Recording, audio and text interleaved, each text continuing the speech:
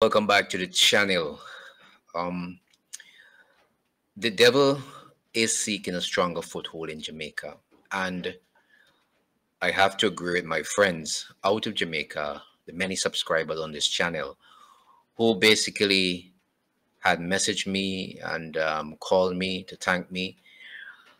But I have to say, like many of them, that what we are seeing is definitely the devil seeking a stronger foothold in Jamaica. One of the subscribers from Jamaica sent this to me from the Jamaica Gleaner, I think it was, Freemasons Forum to discuss forming Grand Lodge of Jamaica.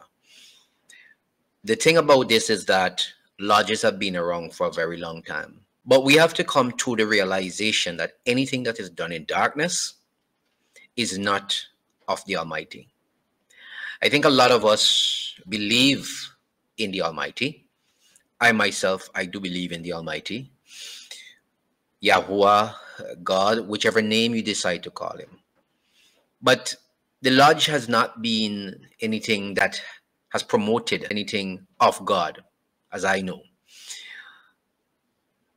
Lodges hold their meetings in secret. People have to take oaths people have to take secrecy oaths people have to do rituals and all that sort of stuff.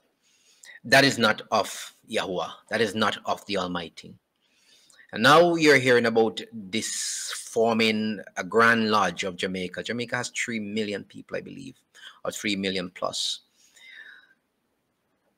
A, a stronger foothold. The devil is seeking a stronger foothold. That's all I can tell you. And what has been happening lately is that there have been warnings, and I have to agree with you guys. There have been warnings.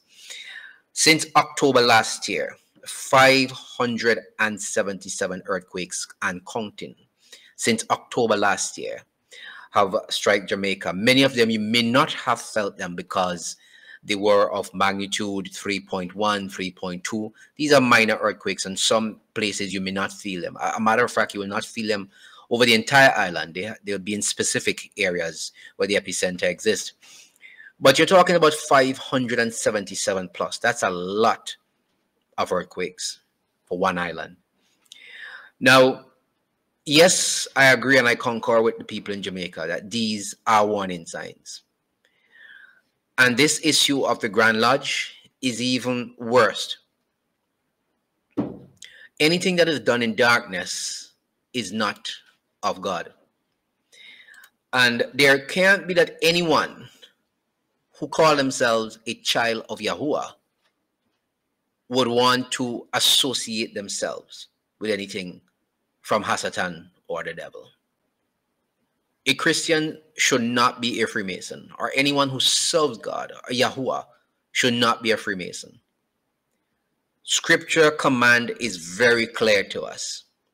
Be ye not unequally yoked together with unbelievers, for what fellowship has righteousness with unrighteousness, and what communion has light with darkness? And what concord has Christ with Baal, or what part has he that believes with an infidel? That's in Second Corinthians, and you can go and read it yourself.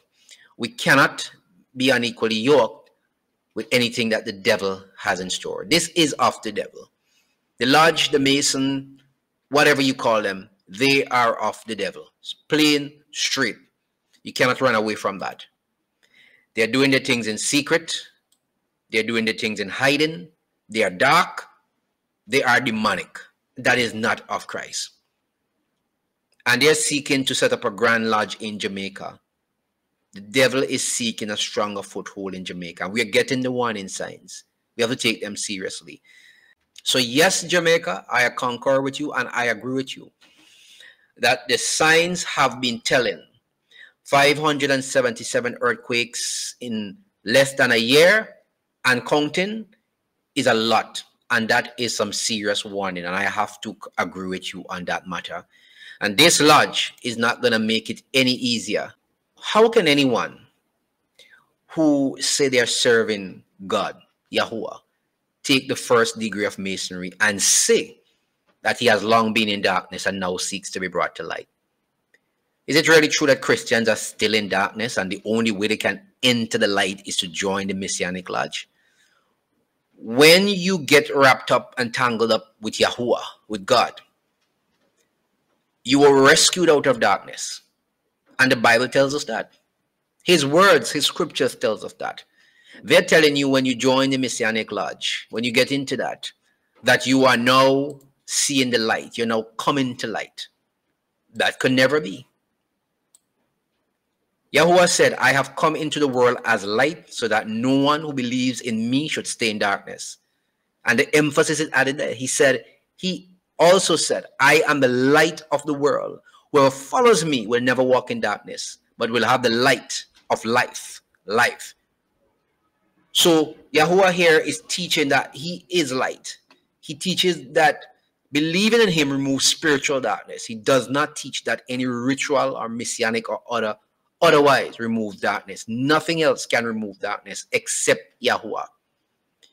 So this issue of the Masonic Lodge, the Grand Lodge, want to set up shop in Jamaica. Yes, they've been around for years. They've been in Jamaica. But I tell you, this is the devil seeking a stronger foothold in Jamaica. So I agree with you guys. Uh, these are warning signs. All of the quakes that we've been experiencing, 577 shaking, and also affecting the fault line in the Blue Mountain. We talked about all of that. Wake up. Wake up and take the signs seriously. So I urge you, stay on your knees. Keep prayer in your heart. Stay close to Yahuwah. Stay close to God. Because he reveals his visions and dreams to his people. And the Bible is clear. In the last days, many of our people will receive dreams and visions. Some will not believe, others would. And also, while we do that, I have to let you know that you have to be able to distinguish between light from darkness. And when I say that, I'm talking about messengers of Yahuwah from the fake, because the devil can also instruct people with things. So we have to be known how to discern the real from the fake. But uh, when one of the subscribers sent this to me, I said, no. We're going deeper and deeper into the pits. And we have to push back against these kind of things. People in governments, people in society, some poor, some rich, they go seeking the advice of the devil from time to time. Don't get it twisted. There are doctors in these things, teachers, policemen, government officials, all over the world, not only in Jamaica. Right here in St. Vincent, where I'm from, I tell you this there was a gentleman who had two vehicles, couldn't sell one because he got it through the lodge, joined the lodge, simply cannot come out now because he doesn't know how to do it. Two vehicles. One is rotting down, the other one he has to drive. He can't sell the one that's rotten down either because every time he makes a move to sell it, it cannot start. And whenever the deed is off, it starts. New battery is in it, new alternator, you could put in all you want. It just does not start. And whenever that deal is off, it starts. This is how it is. There are others who have joined houses that they have built cannot be repaired. They're, they're just rotting in down. You cannot touch it. You cannot get rid of it. This is how Hasatan behaves. This is how the devil behaves. When he gives you something, your life belongs to him. Unless you try to get out of that and repent, nothing is going to happen. You're going to end up in disaster.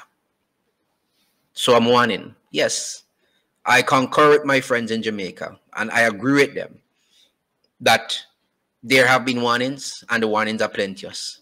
Take them seriously. And thanks for sending me this article. I didn't want to go through it because I'm not even going to give them prominence, but it struck me to come to you to tell you about this. Stay on your knees. Keep on praying. All right, Jamaica? Big up every time.